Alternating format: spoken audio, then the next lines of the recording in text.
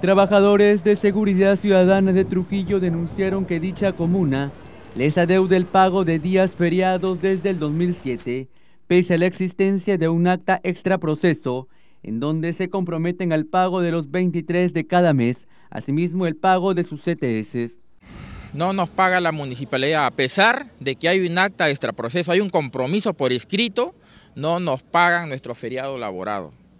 Y se han comprometido a pagarnos este 23 de agosto y todos los 23 de cada mes que nos de todos los años que nos adeudan desde el inicio de la relación laboral, te estoy hablando del 2007 para adelante, los ocho años de la gestión Acuña. Hermano, no nos pagan todos los feriados, nos han hecho trabajar y no nos reconocen. Asimismo también que cumplan con la ley del CTS. No esperen que todavía el sindicato o los trabajadores lo denuncien ante el Poder Judicial para que se cumpla con esa ley. Señora alcaldesa, cumpla la ley. Nada más le pido.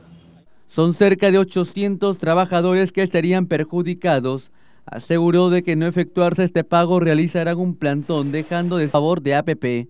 A lugares alejados, al Alto Trujillo, al Alto Salaberry. ¿En horas de trabajo? En horas de trabajo, señorita. ¿Para hacer qué? Bueno, lo que ellos dicen es para llevar propaganda, ¿no? Repartir volantes y, o muchas veces para los, para, los apoyan en el traslado también. Ellos esperan el pago de la deuda municipal, de lo contrario, entrarían en una paralización